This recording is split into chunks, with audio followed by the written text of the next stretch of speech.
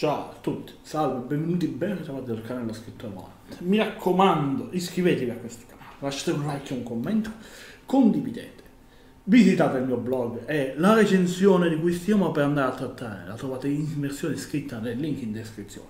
Seguitemi su tutti i social, Facebook, Instagram, Twitter, tutto il link in descrizione, tutto lì. Ascoltate i podcast che mi raccomando sono la cosa più importante per me, perché la cosa che sta andando un po' meglio e in cui mi ritengo di essere più bravo. Detto ciò, dopo avervi detto di iscrivervi, eccetera, eccetera, mi raccomando, sentite e guardate anche gli altri video. Mi raccomando. E fatemi sapere la vostra nei commenti. Comunque, allora, negli ultimi giorni ho ascoltato il nuovo disco di Salmo, Flop. Ed era da un po' di tempo che non lo riascoltavo, non lo ascoltavo e non lo riascoltavo. C'ho la luce nel braccio come se fossi un dio, guardate. Un angelo! Comunque, a parte le cazzate che penso che siano legate al riflesso della luce, nonostante fuori ci siano nuvole in- allucinanti, allucinogene, ma questo è una te- nuvole allucinogene. Metti un like per nuvole allucinogene. Scusate il mio divagare, ma questo problema della luce dovrei risolverlo in qualche modo. Mm. Guardate ragazzi, guardate là, c'è un angelo! Non niente anche con le teppelle abbassate, roba, vabbè, sti cazzi. Parliamo quindi, dopo le cazzate che abbiamo sparato, del nuovo disco di Salmo. E quello che sto dicendo è che non ho ascoltato i nuovi dischi, ma non ho mai dato un, as- un ascolto approfondito, perché non mi esaltavano particolarmente, devo dirlo, e poi non li dovevo recensire. Invece in questo caso ho dato un ascolto approfondito e nella recensione che dovrebbe essere iscritta e quello che sto per fare in questo video potete leggere e guardare una, una mia opinione a 360 gradi. Comunque, partiamo dalla prima traccia che è- mi è piaciuta abbastanza, che è antipatico, che in realtà è simpatico e antipatico, che ha è una buona traccia in cui cominciare, una buona introduzione, una delle rime che mi è rimasta, eh, delle frasi che mi è rimasta impressa, per gli italiani tutte in zoccole tranne la mamma. Ho detto ok, mi sono messo a sorridere, ho detto già ok, già da questo sto cominciando a- ad affezionarmi del disco, diciamo.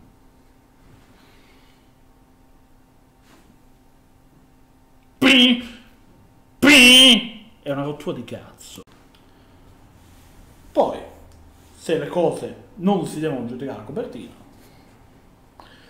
la, la copertina del disco di Salmo è ispirata a una opera d'arte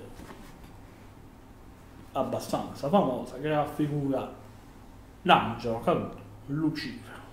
E tu dici, beh, potesse potesse essere, potesse essere un cliché. Nella mia recensione scritta ho fatto una specie di rima su questa cagata.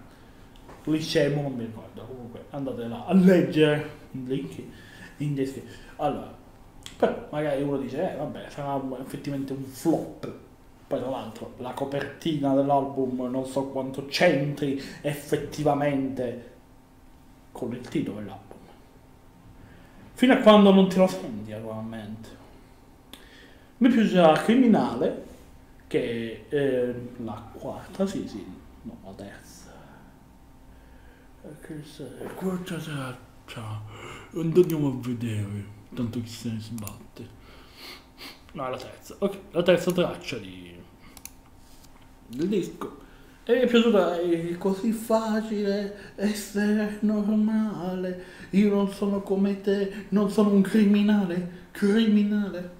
Che secondo me questa traccia, no, è un po' una specie di... un po' anche un po' scherzosa, un po' sarcastica, un po' ironica, critica, diciamo, nei confronti delle nuove leve, di tutti quelli che si fanno mai criminali, ma sono tutti criminali effettivamente. guarda io invece sono normale, come lui reclamasse la sua, invece la sua origine di, di, di, di persona normale che si è messa a fare ed è diventata famosa effettivamente. Poi belle tracce comunque carine, che c'è le basi, c'è chi io tia con Noise che spacca, che c'è il buon Noise che pa, pa, pa, che è sempre, sempre potente. Con questi due diciamo mostri dell'hardcore, anche se per me l'hardcore quello più puro resterà quello più underground, quello che non avrà ma anche se ha la fama non la stessa enorme, grossa fama come quella di questi due, però sicuramente noi riconosciamo la roba, quale roba, non lo so. Poi eh, c'è scritto questa, quando l'ho sentita la prima volta non mi ero reso conto di intrappola e la chiave che erano collegate, infatti quando la traccia è finita io stavo pensando che che era sempre la stessa che andava avanti, che poi è finita, in cui c'è poi c'è stata, nella chiave c'è stato anche Marrakesh, prima c'è la chiave, poi, e prima c'è la trappola, scusate, e poi c'è la chiave. Chiave per uscire è sempre nell'ultima tasca, l'ultimo mazzo di chiave, una cosa del genere. Adesso non mi ricordo la rima, andate a leggere nel link in descrizione, oppure andiamo a leggere qua, e chi, chi se ne fotte. Molto bene, allora sentiamo No, sentiamo un cazzo. Mi dispiace. Spiace, spiace. Andate per sentire la loro canzone e non rompere il cacchio a me, avete capito? Avete capito? Sto scherzando, ovviamente, però non mi ricordo la rima, ma più o meno il concetto era quello lì.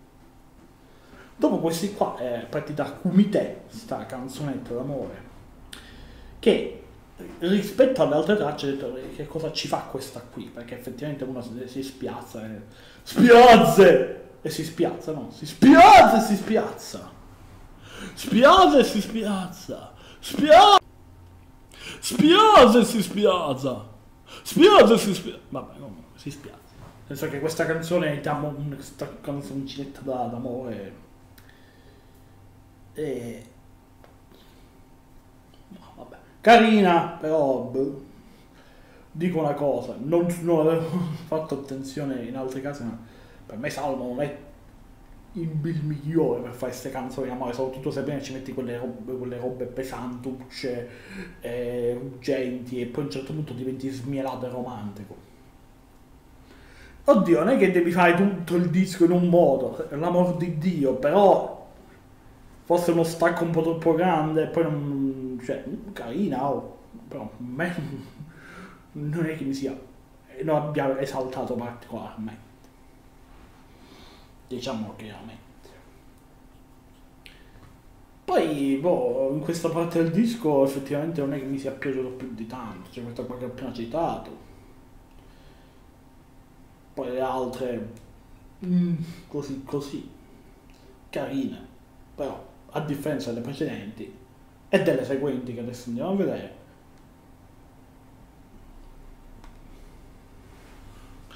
Guardate, se posso dire Ah, c'è stata questa qui che, eh, scusate un attimo, che non mi ricordo il titolo, registro i video senza ricordarmi, ecco Marla, che per me è stata uno schifo. Cioè, una canzone smeliatissima. Che a un certo punto dici, ma è che l'ha fatta apposta? Forse sì. Perché io non mi ricordo, non, non mi ricordo gli altri dischi, li dovrei andare a riascoltare. Mea colpa che non sono andato a riascoltarli, mi sono concentrata solo su, concentrata mi sono concentrato solo su questo e quindi eh, la questione è questa. La questione è questa. Quindi per il momento ho potuto concentrarmi su questo, però ho detto ma non è adatto, cioè questa canzone è uno schifo, non, è, non, non ci sta più di tanto, quindi l'ho bocciata direttamente, sono passato direttamente all'altra, alla successiva. La successiva che è Angelo Caduto, che è stata la mia preferita dell'album. Che anche se questa, anche questa è un po' leggera, un po' roba, però esprime dei concetti un po', un po più forti. Il ritornello è splendido, e la voce di, mi sembra che si chiami Shani, questa qua. Scusate. Andiamo a vedere di nuovo? Andiamo a vedere di nuovo, chi se ne fotte. Tanto, Shai, non Shani, vabbè. Sì, siamo a Shani, siamo a The Witcher siamo! Siamo a The Witcher siamo! Oh, oh ma che ne sapete voi, vabbè. E poi il disco diciamo che finisce e si arriva alla traccia che si chiama Flop, che è la penultima, che dice eh, lo so che sono venduto e lo so che faccio che ti ho deluso. Come per dire che si aspettava un po' che a un certo punto arrivassero magari critiche un po' come le mie e dicessi che è un flop, e non è un flop. È un buon disco, ha delle buone tracce, abbastanza carine. Ci sono quelle belle e ci sono quelle che non mi hanno entusiasmato, diciamo. Che mi hanno fatto un po' schifo. Ma questo non significa che sia un flop. Ma come potete leggere nella recensione, link in descrizione, e lei a me sul mio blog dove scrivo tante robe interessanti, recensioni, poesie, schifezze. No, schifezze, oddio, dipende dai punti di vista. Okay? Dipende dai punti di vista. Comunque, è da un bel po' di anni che a mio modesto parere Salmo non ha mh, fatto, secondo me, un passo in avanti vero e proprio cioè il vero salmo rivoluzionario fu quello dei primi album e non dici tu, eh vabbè, è stato in quel momento e basta. Sì, magari sì. Però ci sono un sacco di artisti, ma un sacco. Ce ne sono alcuni che dopo essere diventati un po' più famosi hanno dato un po' una cosa in più. Hanno fatto notare la loro maturità in modo molto più forte dei Salmo. Per me, uno dei tanti, uno dei tanti, uno dei pochi, uno di quelli che mi viene in mente è Marrakesh per me, e, e, rispetto ai primi album, ha fatto dei passi al secondo, secondo me. Poi vabbè, ognuno ha le sue opinioni, ovviamente. Poi non stiamo a, a buttare merda sul salmo, stiamo cercando di fare un'analisi a 360 gradi, ovviamente.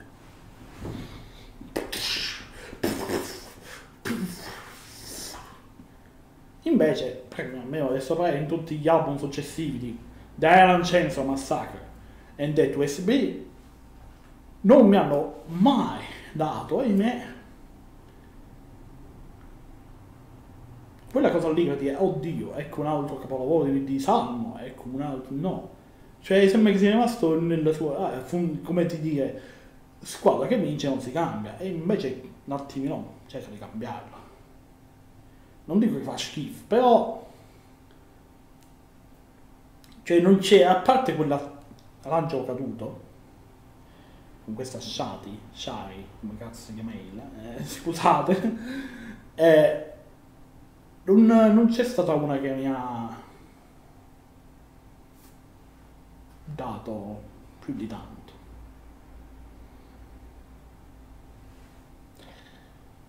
Cioè, carine le tracce, beh, magari me lo riascolto, dico, perché spac, forte, figo.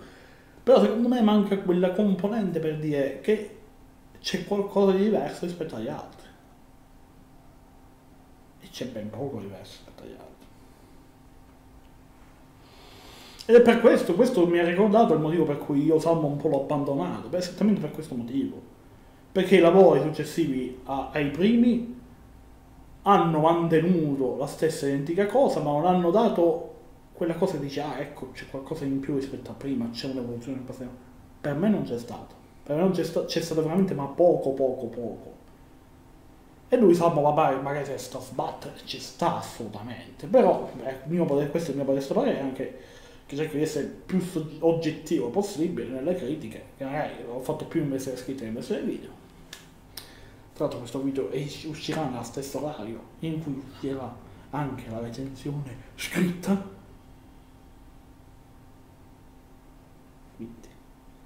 Ditemi voi, fatemi sapere la vostra opinione.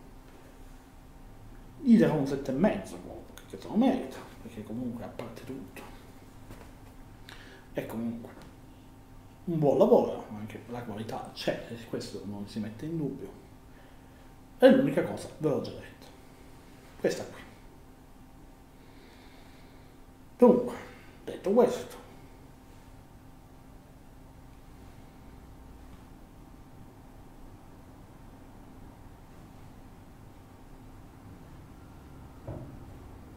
iscrivetevi a questo canale, seguitemi sui social, eccetera, eccetera, ci la possibilità che non ho idea di quale sarà mai.